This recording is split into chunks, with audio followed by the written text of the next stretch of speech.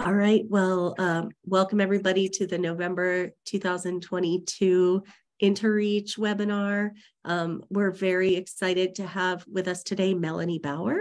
Um, and I'm going to give you a little bit of an introduction, although she will have a great chance for us to hear more. Um, Melanie is a research development professional situated in a central research department at Nova Southeastern University in South Florida. Um, and in collaboration with a statewide research development network, she recently won $300,000 of NSF funding um, to develop a team science training program for faculty with her as a PI.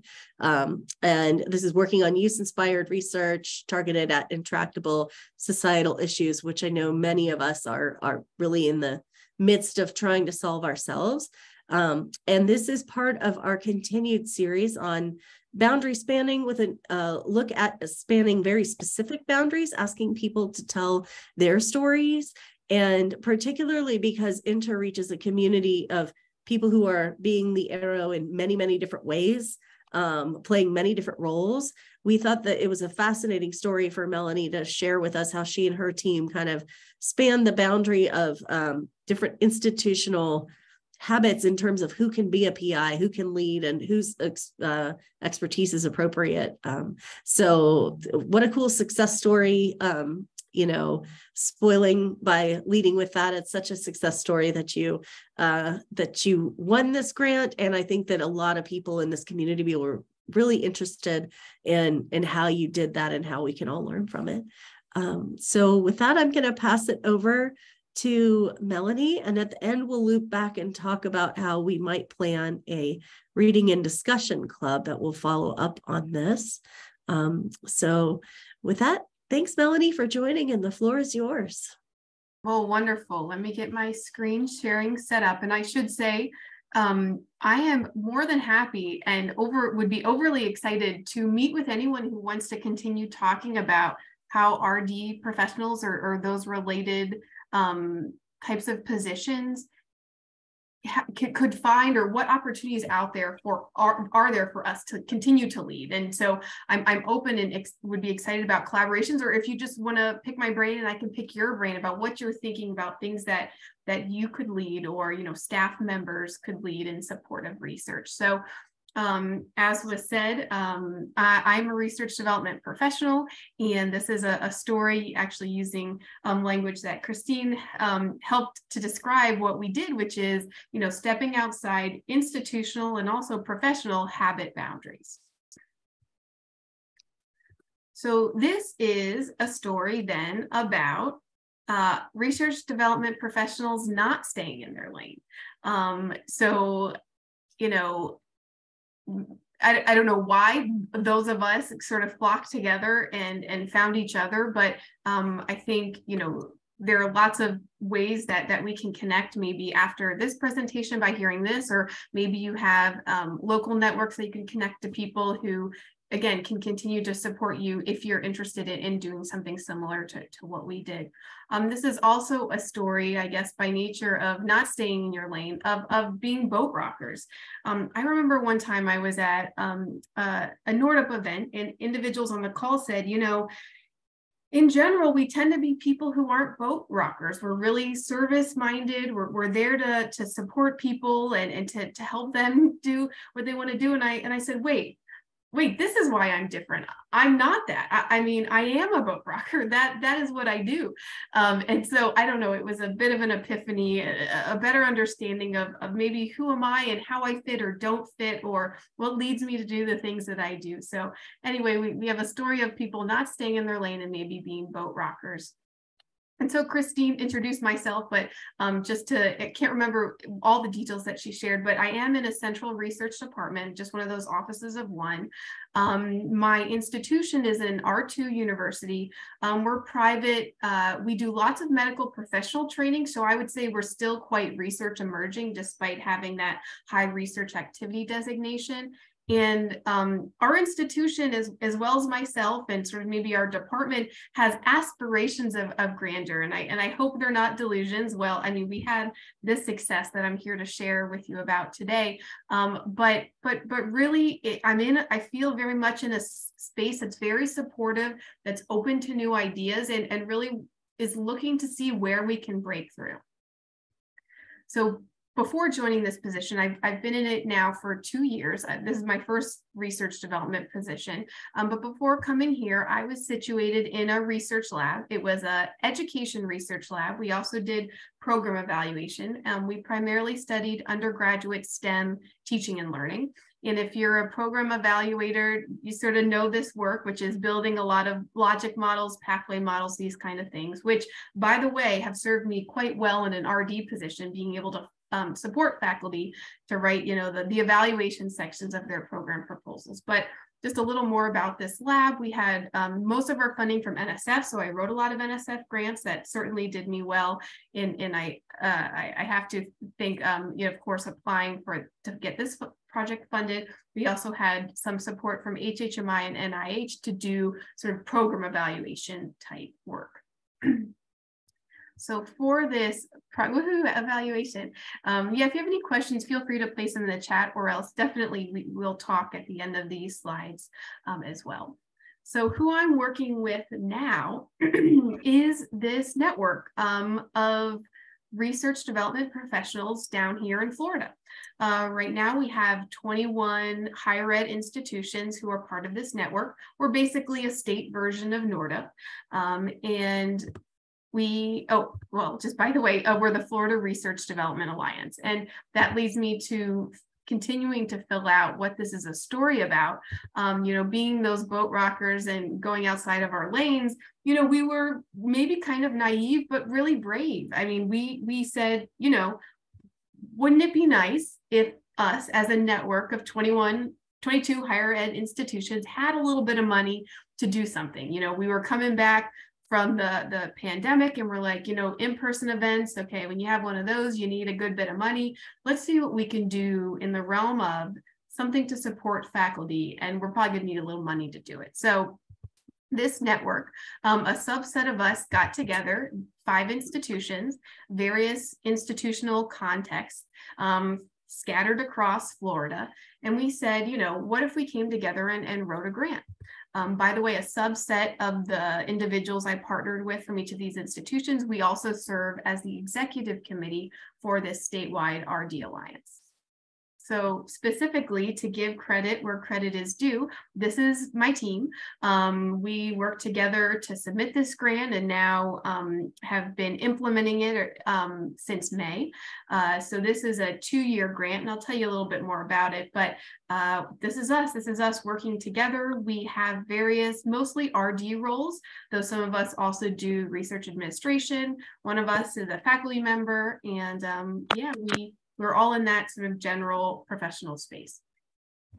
So this, just to give you a little background on our alliance, if you're curious, um, it's six years old, uh, this statewide one. We have monthly virtual meetings. So these are research development plus, I should say. There's there's some people who are 100% RD, like myself. There are some people who actually are 100% research administration and don't yet have RD responsibilities, but but find um, value in connecting with um, RA and RD people around the state. So anyway, we meet virtually about once a month. We share on best practices. We do similar. We have similar types of conversations that maybe NORDP type webinars or PMGs are having are having, but um, we do this um, amongst our members here in Florida. We also um, meet twice annually in person. And so far, we've done one statewide faculty networking event. The whole purpose of this alliance was to unite um, RD people for the purposes of supporting and facilitating faculty collaborations across our institutions. So it's taken a little while, but we, we finally had our first statewide event um, this year, I believe it was, earlier in the spring. And um, that was really exciting seeing faculty, it was a virtual event, um, come together and do sort of a speed networking type scenario. And then we got this grant. So in case you're interested, this is was funded through the NSF Germination Program. It's through their um, uh, Directorate for Engineering, and but it's their multi multidisciplinary programs division, and they were they give funding, still do, for developing support for researchers across the career stages to um to to to help develop them so that they can germinate, create innovative research questions. So if you're interested, this is an opportunity maybe to, to support some of the work that you're doing. So in that same realm of being somewhat naive but brave, we, we took that leap of faith and we said, hey, or we, we put in the effort to, to write this grant. By the way, it was only a six page grant that had a pre-proposal stage. So it was nice little um, baby steps into into this world and, and and not having to write you know like a 15 page or anything like that. And so it, it really panned out. It typically this um, this program it looked like they'd give hundred thousand dollar grants to start. So that's what we submitted with.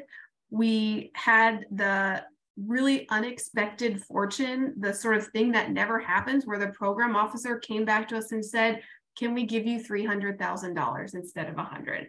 And we were just blown away and said, of course you can. And so that allowed us to extend from what we had planned as a one year budget to two. It allowed us to buy out some more of our effort. We had, I can't remember if we had no effort across the board or just minuscule effort, but we really beefed that out. We bought us ourselves some time to develop, um, to disseminate the findings of this in year two and really develop products that'll be usable, hopefully for all of us in, in doing related work. And so look at that being somewhat naive but brave really paid off in this scenario and so and so our project was born so we um, gave uh, our program an overarching topic of Florida coastal challenges. So we figured, you know, what's a topic that really um, is signature to our state, but also could touch on a number of disciplines. And we came up with coastal challenges. And this is like our a snapshot of our marketing page. So we marketed it to faculty researchers across Florida who had interested interest in getting some team science training and a practical experience. So the, the goals for this program then was to help them better understand the coastal challenges happening. And I'll tell you a little bit about ultimately the, the program components that helped us deliver on these, but just a, a overview of the goals. So people becoming more aware of the challenges across our state, getting some skills and experience in in their team science toolkit, so they have, you know, the the some some you know understandings and knowledge and appreciation for what happens here um, helping them to expand their researcher network. So they, they, they were going to have the opportunity to meet faculty from across the state and then get some support as us RD people do in helping faculty to create some type of research product. It could be a grant, but or some one of our groups I think is interested in like a review article. Another one is interested in a, in creating a, a, a, like more of like a tool product. And so these were our goals and they're accomplished in two stages. Um, one that we've already completed, which happened in August, we were able to do a three-day in-person event where they got um, some training in team science, which I'll tell you just briefly about. And it was it was about getting this cohort of faculty members to get to pitch and get excited about ideas and then form teams. So this became really um, the major goals to accomplish this project an ideation and teaming event. So get our faculty members into teams so they could move on to the next stage, which we're right in the middle of right now, our idea sprint, which is virtual. So we're supporting um, each of these teams to continue developing their idea and moving closer toward uh, some type of research product. So each of us who you saw on the prior screen across the top, all of our headshots, each of us is supporting a team. So we're getting ourselves experience in team science. I'll speak for myself and say I had almost no experience in this before. So not only were the faculty learning a lot at our research summit, um, but I was learning a lot and I'm learning a lot now in this practical experience. So some other details about our program. If you're curious about our faculty, so we broadcast this across all of our member institutions here in Florida. We ended up with 56 applications, of which 54 ended up being eligible. We accepted 20 and 16 ended up showing up at our event. So they are our participants in the program and they are um, organized into four teams. And so, as I said before, each is now being led by a research development coach. So they're getting coached to continue developing their idea and their product. Some other details on the grant. I think I said this before, but we have effort on the grant as PIs and COIs. All of our institutions were very supportive in having a chunk of the grant funding come, of course, to their institution. And um, it did require us speaking with our supervisors, um, but they all were supportive of us um, devoting some of our effort to this grant.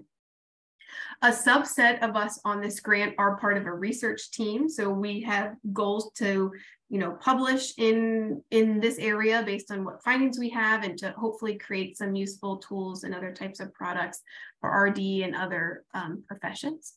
And we ourselves are developing to be better team science facilitators. Here's a photo of all of us at our in-person research summit event. So not only us as facilitators, but our faculty um, participants. A little bit more about our faculty, if you're curious. Um, I'm always interested to know, you know, who signs up for these types of programs. Um, by design, um, we ended up with about half being assistant professors in our application or application acceptance stage. We gave weights to certain groups of people to hopefully get them especially um, trained and accepted into this program to get this type of experience. So I should say we designed for this a little bit, but half, uh, about half are the early career. I guess not surprisingly, um, almost all of them had had some type of experience in interdisciplinary or transdisciplinary projects. About half had already led them and half had only participated in them and only two had no experience at all. And I should say these numbers don't align with 16 because I forgot to redo these slides since, um, since we had uh, a few dropout. And then here shows the types of institutions that they have that they these faculty members come from. And here again, they don't add up to 16 because some institutions are also uh, um, double have, have multiple uh, characteristics. So um, we did end up with what we hoped, which was a, a a decent um, spread across different institutional types, though um, not surprisingly, the more research intensive universities um, had faculty who were interested.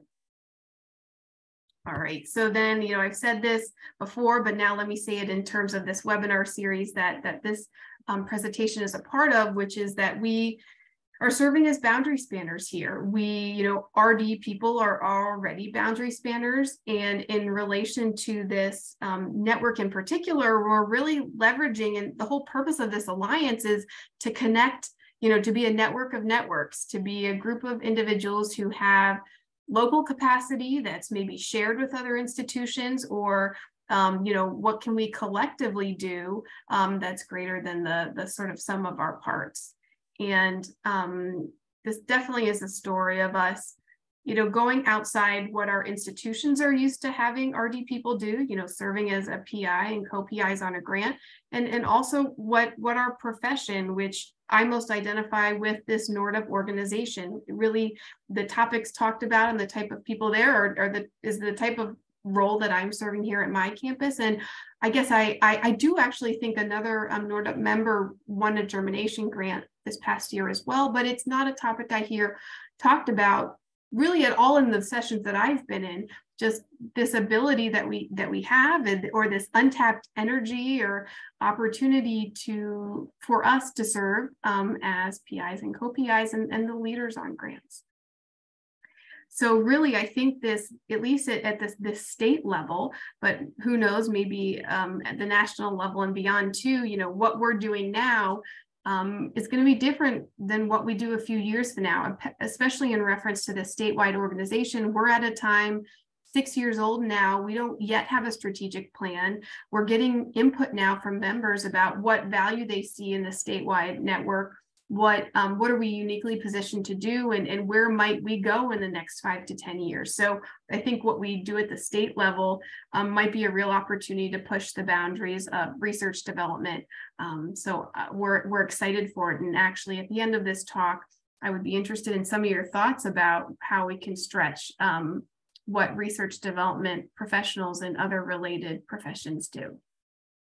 So just to backtrack a little bit to give you an idea of what we did at our research summit um, event, uh, here's just a photograph of me with my team who I'm now leading in our virtual um, idea sprint. Uh, but this is when we were meeting in person here in South Florida.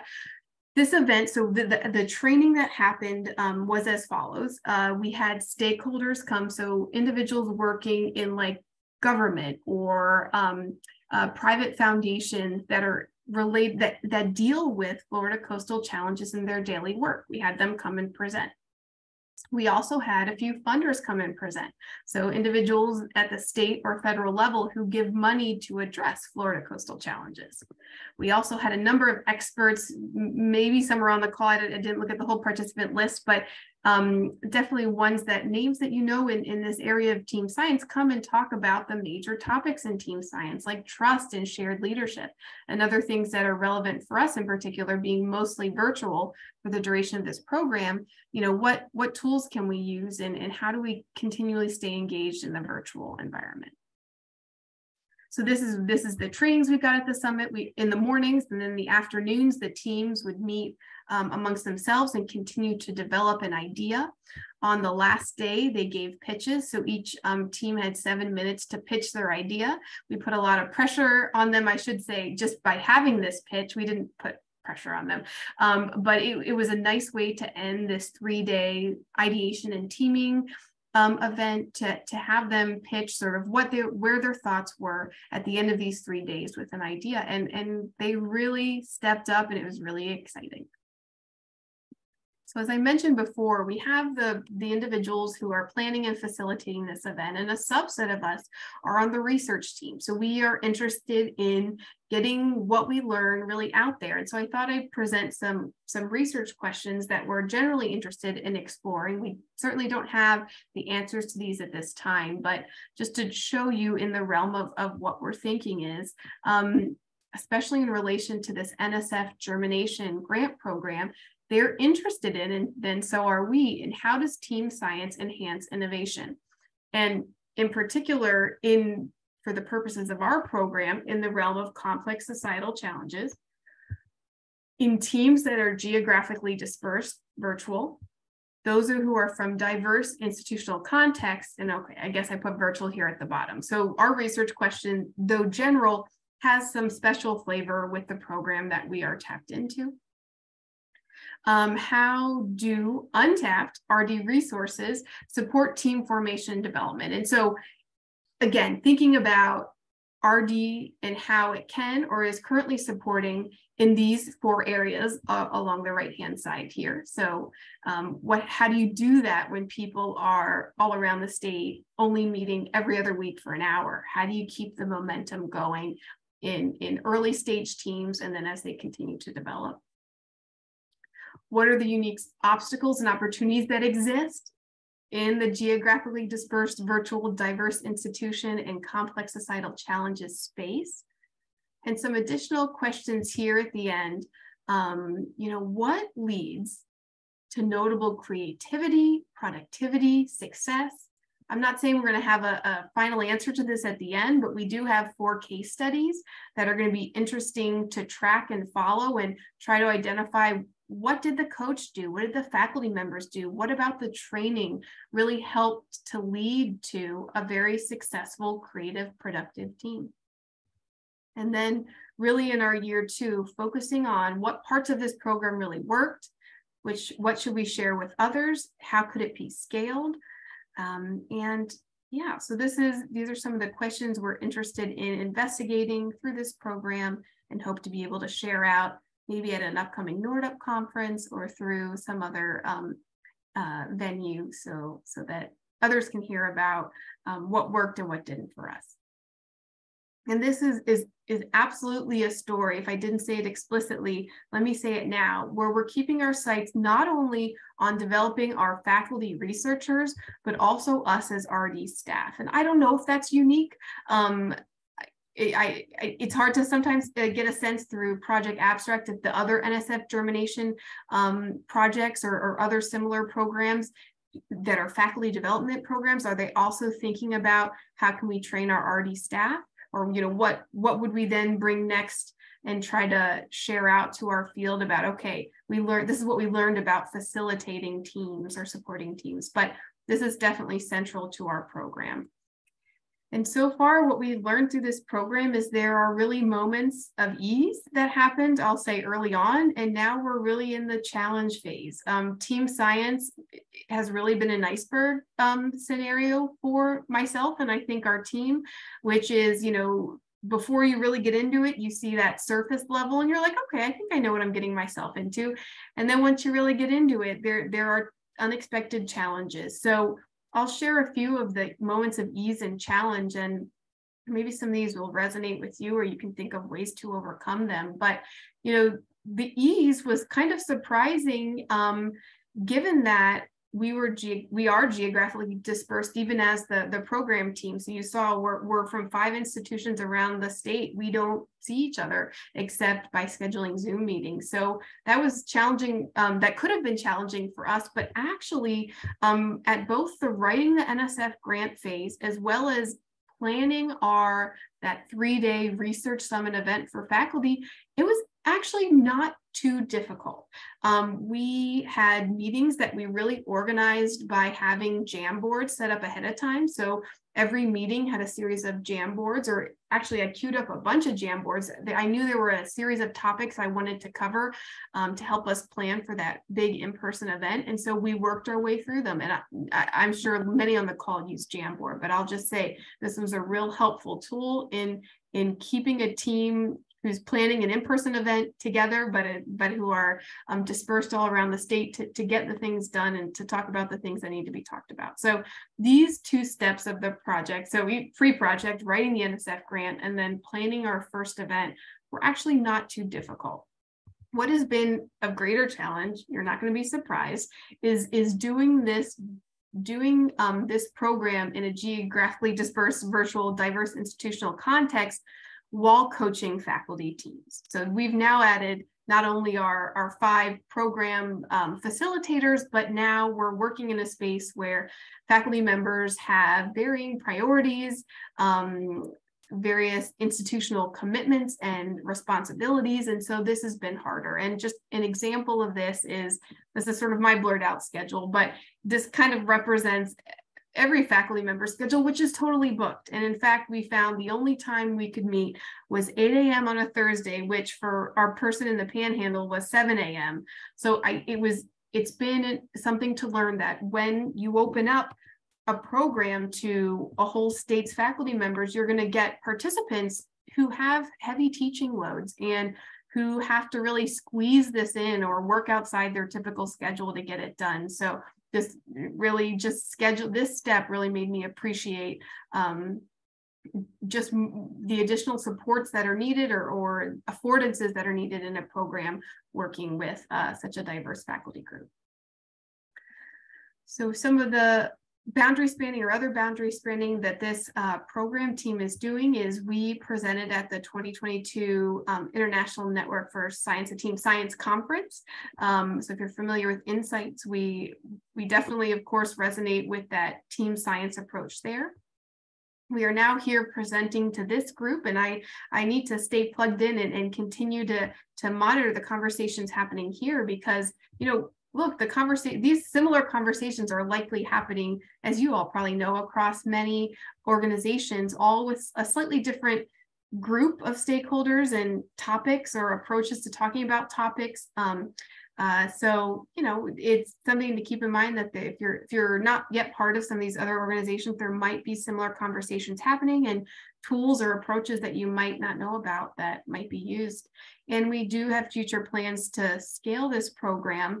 Um, definitely through our state, maybe hopefully through NORDP or, or other types of uh, networks of faculty members. So these are just some of the, the connections that um, we can make in terms of our program topic. And my colleague on this project, Steve Fiore, pointed out this article um, to us. And so um, I'm now sh showing it to you, which is, if you if you didn't already see it, this um, article in Nature in their Humanities and Social Science Communications um, section on this, this integration expert. So you might all be nodding your head, I can't see, but uh, um, you know, this is a, a relatively new profession and, you know, it might call for establishing uh, a new academic career. People who lead, administer, manage, and so on um, interdisciplinary projects or programs. It, this is this is you all, I, am sure. And um, but maybe we might start seeing institutions, higher ed institutions, creating um, position titles that aren't just research development professional or research administrator, but are in these, these are probably already existing in things like centers and institutes, but I wonder it'll be interesting to see just where this this takes off to and if we have a new professional society or, or what comes next. But I'll say what, what I've liked working with other RD people on for this project is that, you know, we're really practical about it. Um, we, we're supporting faculty members every day. So we want to know what works and what doesn't. You know, we've developed a fairly expensive um, program, but you know, we're going to definitely be thinking about how can we do this for cheap or for free, or especially when we think about scaling this around our state. It's definitely not something we're going to be able to constantly get grant funding for. So, so what are the pieces that are really practical to take away for a single team or for catalyzing multiple teams? Uh, you know, of course, a benefit to working with RD people on this also is because we work directly with faculty as you all probably know. But we're also connected by nature of just being in higher ed institutions, or maybe our offices have these connections as well to communities outside of our um, off our campuses that that can really be leveraged. And I'll say, you know, shout out to all my offices of one out there, but I I feel a, a large amount of job freedom and support to be really like entrepreneurial, go after, you know, certainly working with faculties and teams, but also with addition, developing additional programs and, and whatnot um, to, to, to do this type of work, to, to, to do things um, a little beyond. And I've heard similar things echoed from my NORDP colleagues that, you know, in this office of one, sometimes institutions create an RD position and don't yet know what to do with it. And so when you're hired, you can be really opportunistic and see what you can go after. So um, this is what I've really liked about working with RD people on this type of a program. And by the way, um, I found real benefits to being a PI on a federal grant. So certainly in the grant application stage, I was, you know, acting as a faculty member using our sponsored program officer resources and support. Um, also have since had to learn a lot of university systems, software about offices I never knew existed. So you really get an insight. You get you get to, to witness the faculty side of things for once, right? And um, you just get a greater understanding of and appreciation for how this all works and of course uh, you know as a pi you get you get to brag about it. You get to to say it when you give faculty um, presentations that that I do know this space and look because you know I know NSF I've, I, I have experience with this. I know a little bit more about this than you might think I do.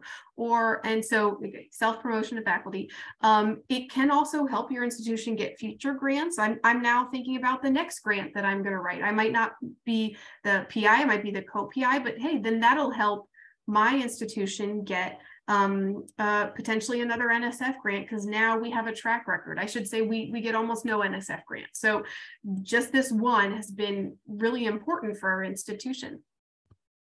Um, I've learned a lot. So I I don't have a, a, ton of opportunity to support teams here. We don't have a ton of research activity. Those who do research do it really well and, and don't ask for my help.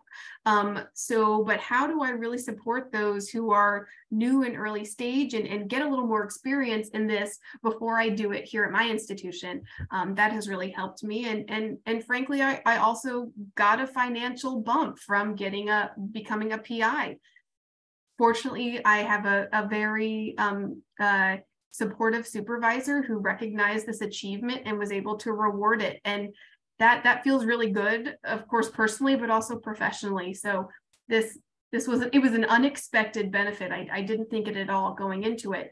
And something else that my fact that my institution does, and I don't know how common this is, but um, a portion of indirects um, I think it's uh, cost recovery or F&A recovery, faculty members, I thought it was only faculty, but I come to learn at staff too, that when you get a grant, um, a portion of our approximately 50% in indirects is given back to the faculty members. So at my institution, this is quite high because we're research emerging. We get 20% back as a PI on a on of the indirect costs. I've heard others that are maybe like five or 10%, but this is a real bonus. I now have a research account that I can use for my own professional development. So I can go to a NORDP conference, I can go to Science of Team Science conference, and that has been another unexpected thing. And, and should you also have interest in, you know, scholarship and publishing, of course, you know, if you have a program that you get to collect data on, then you can publish about it. So that's been that's been a some expected and some unexpected benefits to being a, a PI. So I'd like to pause now and, and, see if you have any questions about this program. And then I do have a few questions for you as well, but I thought maybe I'd stop for just a moment and um, see if there were questions. Thank you so much for uh, such a, a, well put together talk. And I love the arc of the story that you had in there, Melanie. Um, would love to um, open it up for as many people as would like to to pose some questions before Melanie um, poses hers.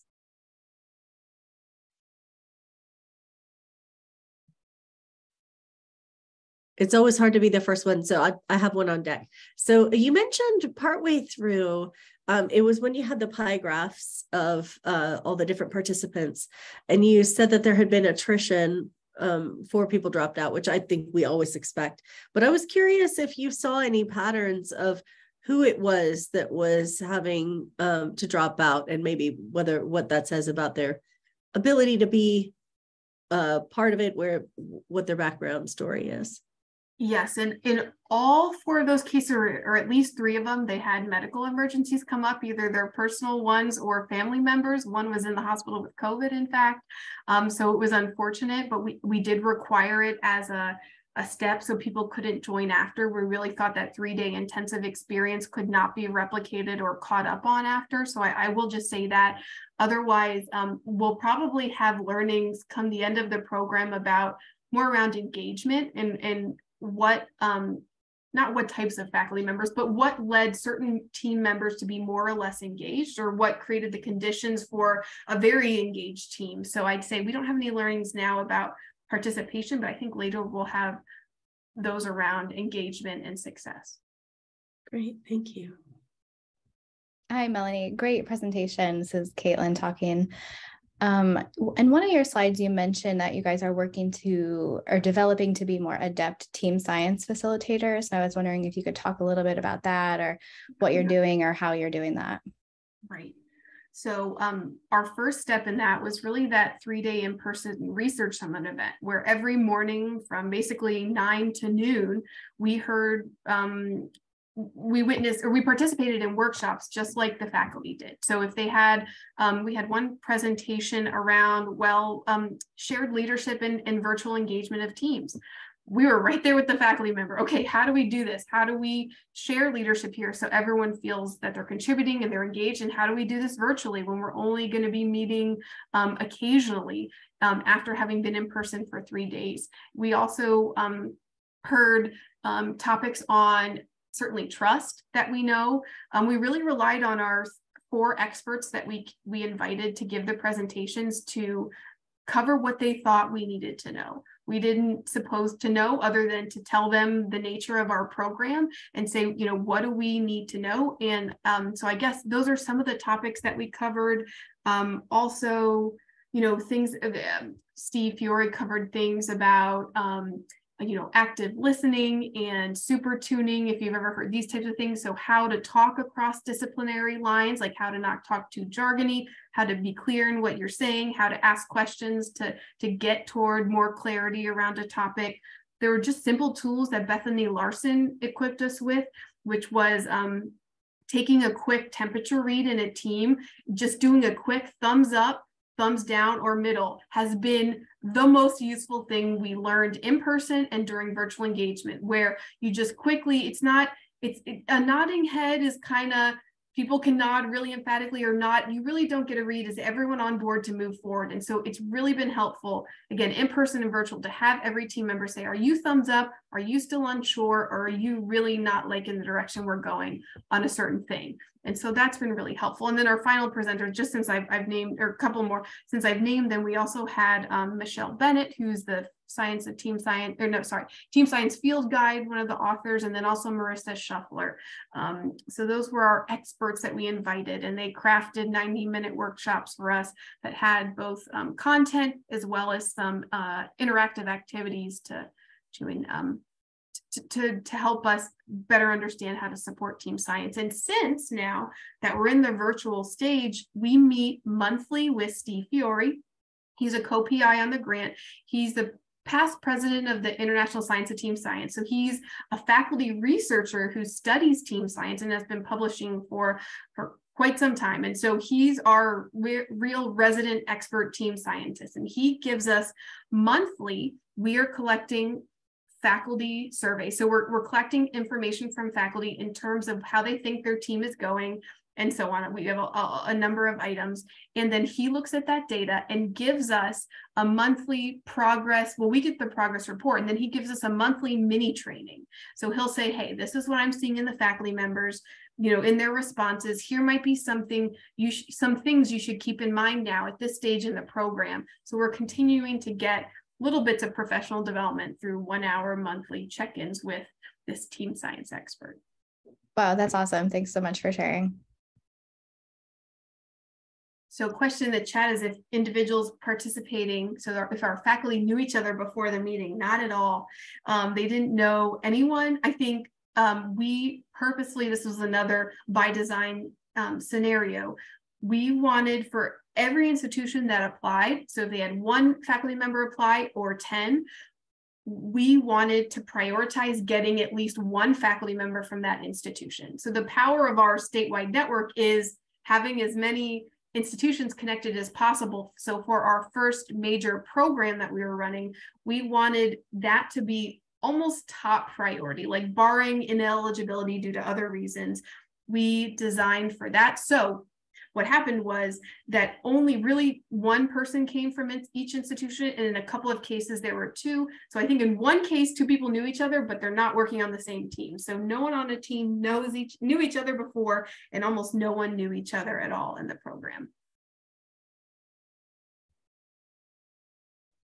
See jeremy. Yeah. Hi melanie. Thank you for this overview. Um i'm wondering how you define success for the proposal? You know, is it really like the out, outputs from the teams, uh, or is it like the, uh, you know, the sort of study of how everything went down as the outputs, or both?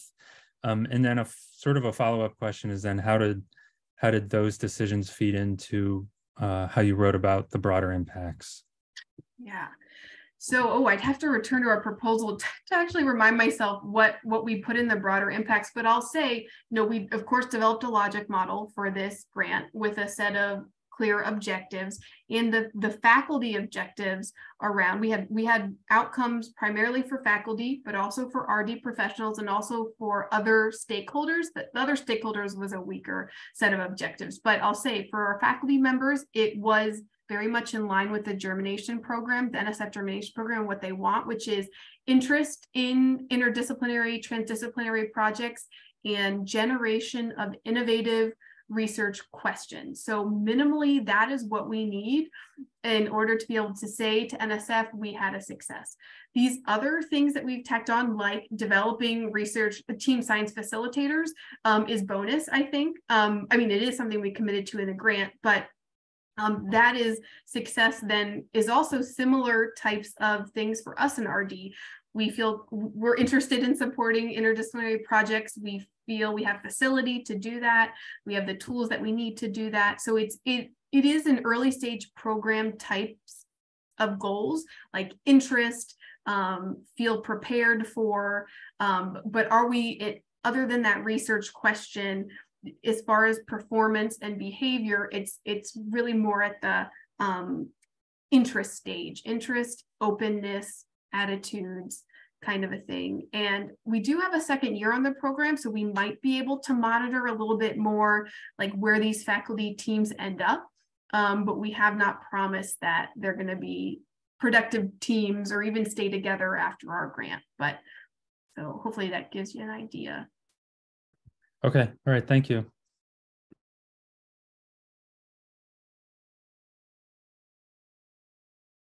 Well, I'm going to jump into my questions for you, but I'm happy to go back and forth. Um, I had I had some questions um, just in the sort of visioning space. Uh, just have a few questions, so I'm just going to present them and, and feel free to share your thoughts on on any of them through chat or through unmuting. But you know, what can research development or related professions, if you're not an RD, that means you, um, do that you're not already doing? What do you want to do? Um, maybe in thinking about that, you know, what are you particularly suited to do or situated based on prior experience or based on the institutional context in which you're in? Um, so, so think about that. And then what are some of the ways that you'll struggle? I mean, early on for us, we weren't sure if all of our departments would allow us to devote effort. I'm 15% effort on this grant. Um, the other faculty, sorry, the other staff members are between five and 8% on this grant for two years. So um, we didn't know if they if we'd all get the green light for that, but we did. So that was great. Um, that was a way we could have struggled.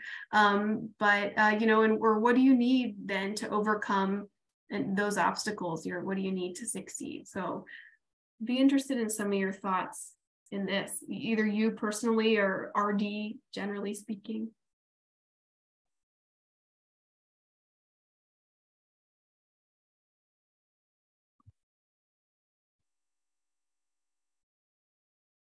I know people don't want to jump in, um, especially if they're some people have screens off to eat lunch, depending on where they are. Um, I really liked the how you started with just introducing and inviting boat rocking and getting out of lanes. Um, and I think that maybe leaning into that possibility that there are uh, particular areas that you are more suited to win, uh, like in a faculty training grant, for example, than somebody who is actually doing the faculty role already themselves. So, I mean, I think even just naming the fact that there are arenas where research development professionals can be the most well suited to lead. Um, and then looking for things that fall in that bucket could be something that I I don't believe a lot of places that I've seen do that. Um, and then the only other piece I was going to add in, and Anne alluded to this, um, well, just by saying go evaluation, is that I, I wonder how much you see overlap in the possibility of evaluators dipping into research.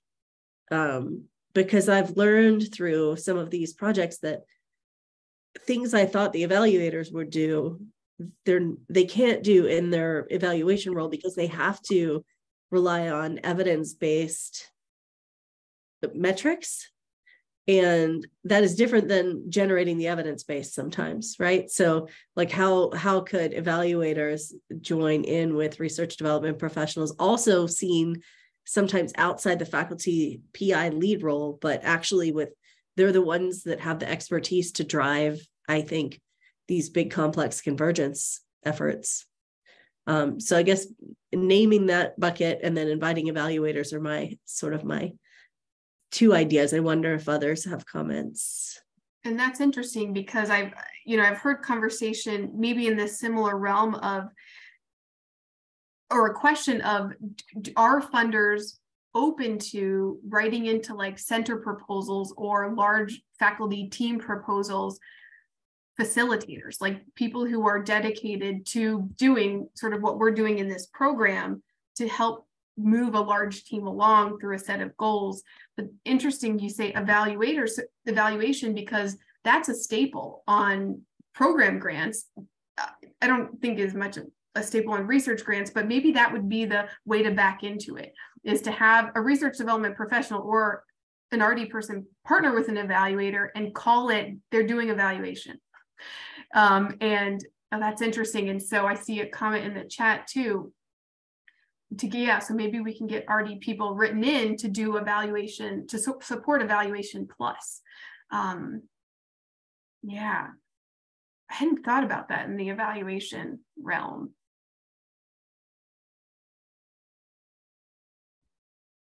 Hi, Melanie. This is Leah. Um, I would turn on my camera, but I'm having some Zoom problems today. Um, so I think I think the context that you're doing this is really interesting um, because um, I think that this, uh, in my institution, the question of like what can we do to support research development professionals and improving skills in leading this kind of project is not something that is nearly as prioritized as what can we do to improve faculty skills in leading in these projects. But the nice thing about team science framework is you're having those conversations about shared le leadership. You're having conversations about how hierarchy affects teams. And so it's an interesting place to, um, to um, start having these conversations. So um, I'm I it, I'm definitely going to give it some thought to how we might leverage that for our for our institution or for our state uh, as well.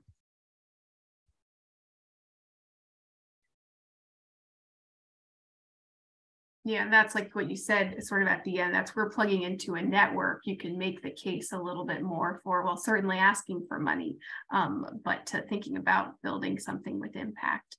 Um, yeah.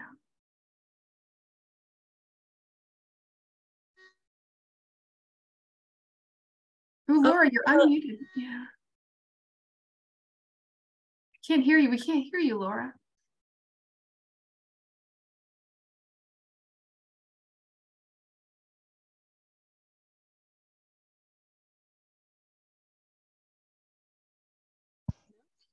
Dang it. now? Yes. yes. Yay. Okay.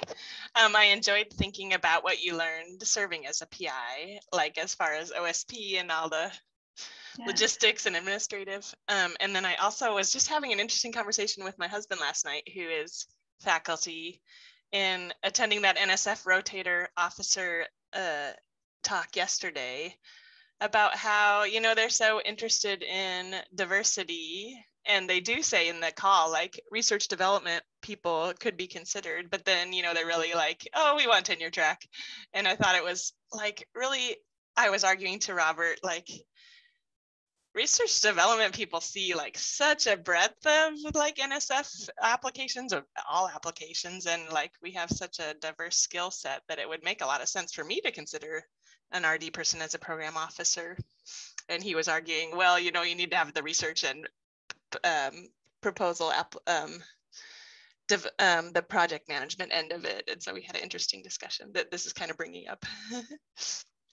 yes, it is a goal for my myself to get on a review panel, hopefully over the next year. And not that you have to have a grant to get on a review panel, but it's it's one way maybe if you're not a faculty researcher to get on a, a panel, but it, I think for these program grants that are about developing faculty development programs, I mean, who who better to serve? I don't know if they have rotators in, in this one. I don't actually don't know at what level rotators work. If, if, if some directorates or divisions are too small to even have rotators, I'm not sure. I didn't attend that talk, but but maybe even short of a rotator, if some of us could get on review panels and just learn a lot, like we tell our faculty how much they would learn.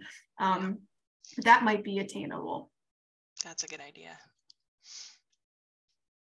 And NSF germination, by the way, is one of those that would really work. I'm, I'm also looking at a couple of other NSF grants. That's one I'm, I'm probably going to stay in my lane on. Like I, I, I figured out NSF, I think. So I think I'll probably stick there. But um, the NSF IUSE program, so the Improving Undergraduate STEM Education, I think there's real opportunity even though it's focused on undergrads, that that someone will maybe at a small institution or there's a possibility that that my department and and or me will be supporting our office of undergraduate research. And so if you happen to have those that type of role that could potentially be more broad that could be a type of opportunity um, for you to write something as well as the nsf INCLUDES which is in the graduate education space. And sort of similarly my department and sort of me as well is going to be probably part of growing graduate PhD programs around the university. So that I think would be another opportunity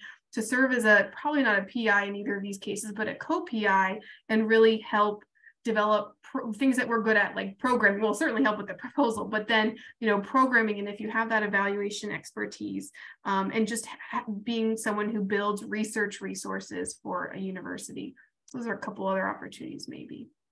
I love it. Especially the HSI version of the IUSE if you're at an HSI.